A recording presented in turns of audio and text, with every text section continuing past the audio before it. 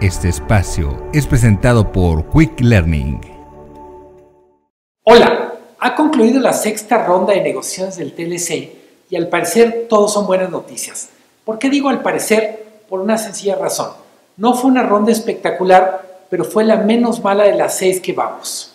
En Montreal se lograron acuerdos para el capítulo anticorrupción y se lograron avances en el capítulo automotriz, pero como siempre en este tema, justo antes de llegar al acuerdo hay problemas.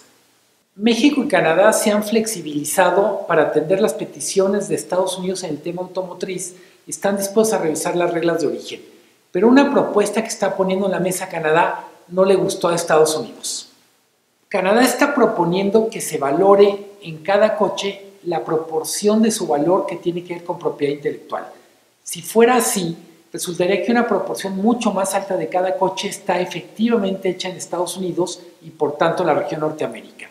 Esta propuesta, que suena sensata, simplemente en Estados Unidos no pasa.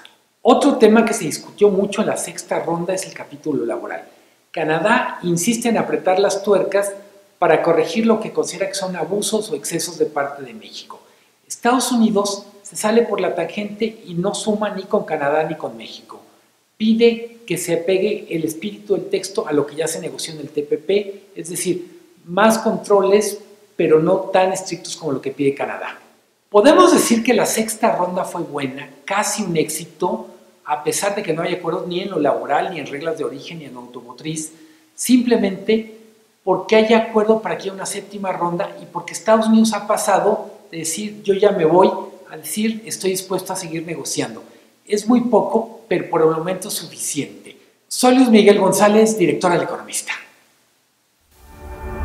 Este espacio fue presentado por Quick Learning